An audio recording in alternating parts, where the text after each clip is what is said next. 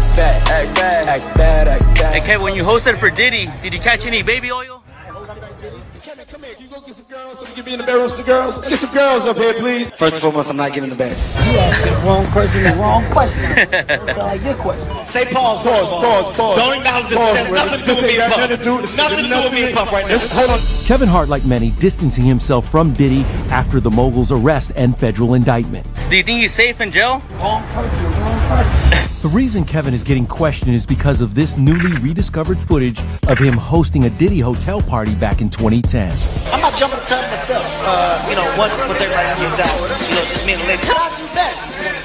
Oh, oh, oh! Did the camera catch that? Got the camera. That is one bikini clad woman's hair catching on fire in the hot tub.